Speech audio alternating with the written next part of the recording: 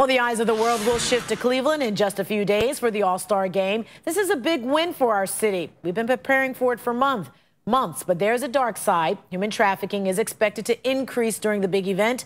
Tracy Carloss shows us how one organization is working to protect the victims. The signs that the All-Star game is about to arrive in Cleveland are clear. Barriers going up, roads closing down, police out in force.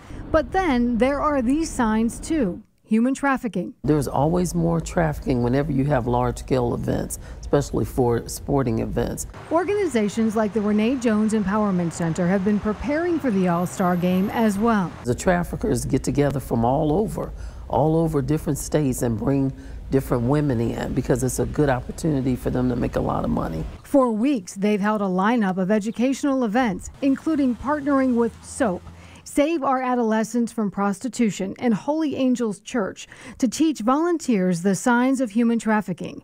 And then those volunteers took the information to area hotels.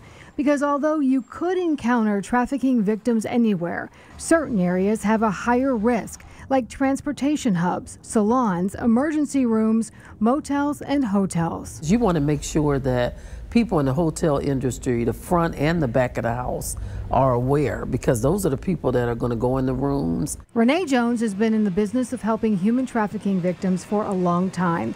She told me human trafficking is a crime that crosses all socioeconomic lines. For 17 years that we've been open and doing this type of work, uh, there hasn't been, I can't even really think of one suburb that I haven't had at least one person from. Over the years, Renee Jones and her center have helped thousands of women.